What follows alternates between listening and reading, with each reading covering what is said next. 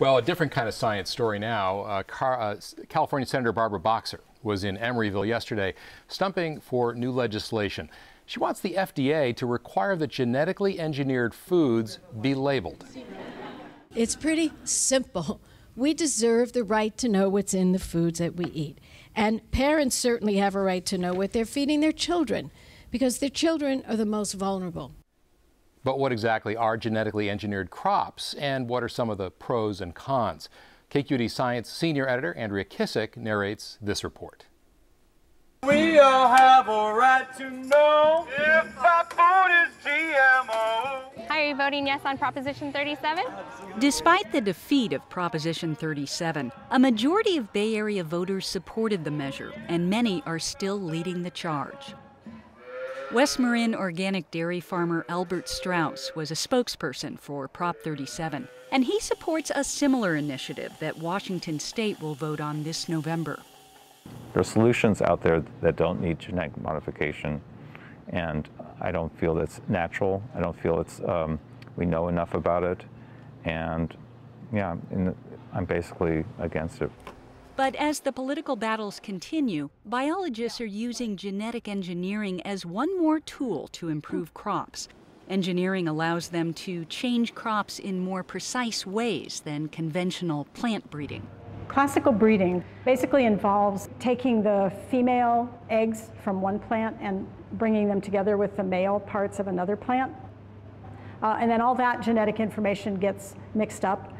With genetic engineering, it's just moving very small parts of that genetic information and pulling it out in a very precise way and then pasting it back into another plant. At the University of California, Berkeley, biologist Peggy Lemaux is genetically engineering a cereal called sorghum. 300 million people in Africa eat sorghum porridge every day, and often little else.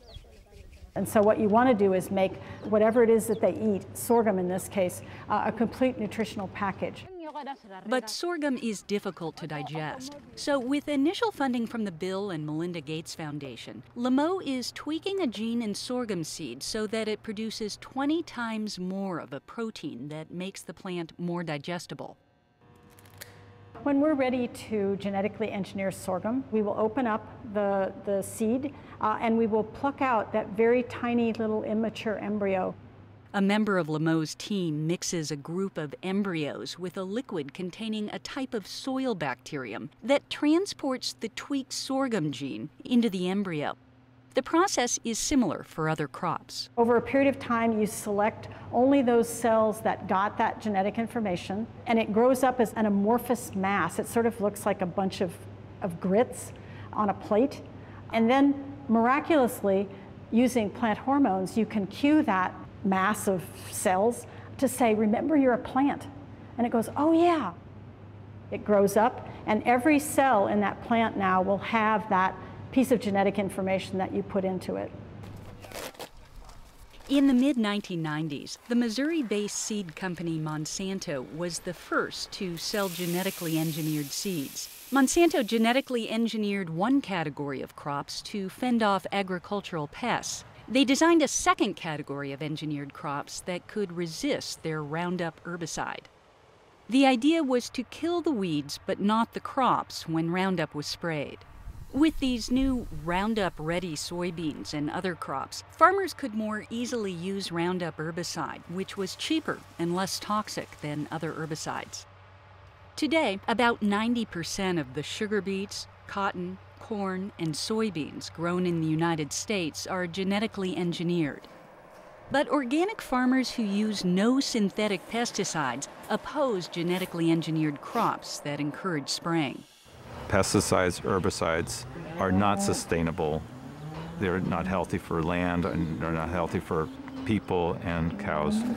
Organic farmers like Straus don't use genetically engineered seeds or ingredients. So if you're not buying organic, what genetically engineered foods might you find at the supermarket? Some soybeans, corn, and sugar beets end up in snack foods, soda, and cereals.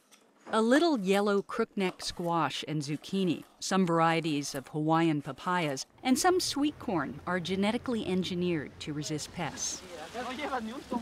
And 20 years ago, scientists also engineered a tomato, this time to satisfy the consumer's palate.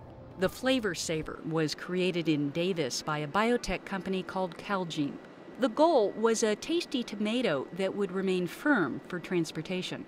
So if they would stay firmer on the vine, then you could let them start to ripen on their own, and they would start to get all the tomato flavors that um, you would get in your backyard. The tomato was labeled and popular, but it wouldn't stay firm on the vine, and the venture was short lived. The tomato was important because it was the first genetically engineered food to be taken to the FDA for approval. What the company wanted to show was that the tomato was safe. That was the bottom line. Oftentimes, using this technology, a dozen genes or, or half a dozen genes will be inserted at various places um, in the tomato genome or any plant genome. So the potential there was that the gene could land in a tomato gene and disrupt it, thereby mutating it. Genetic alterations could, for example, lead to a spike in unwanted plant chemicals that could cause health problems. So biologists look in each plant to see if any genes were disrupted. If anything looks odd or different or looks like it might have an issue, then we don't use those plants. So we choose those that we're confident that they're not going to cause changes uh, to the food quality or the food safety. Lemaux writes and gives talks for the University of California. She doesn't take any money from biotech companies for this outreach work. I, I have personally gone through the safety studies that are available to look at uh, on the crops that are out there now. Uh, and my conclusion was from looking at those that I did not see any indication that there were health safety issues associated in a specific way with any genetically engineered food or crop that's out there now.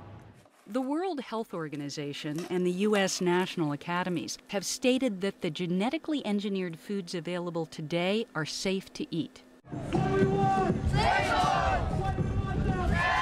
Despite assurances, activists are pushing for labeling laws at state legislatures and ballot boxes. Retailers like Whole Foods have said they plan to start labeling GE foods. And Monsanto has signaled that it might be willing to talk about a labeling standard. Well, I think it's in the best interest of the industry itself, actually, to label. If you have nothing to hide, um, go ahead and label. People want to know, uh, go ahead and tell them. Next week, a half hour documentary dives deeper into the topic. Tune into Next Meal, Engineering Food on Wednesday, May 8th at 7.30 right here on KQED 9.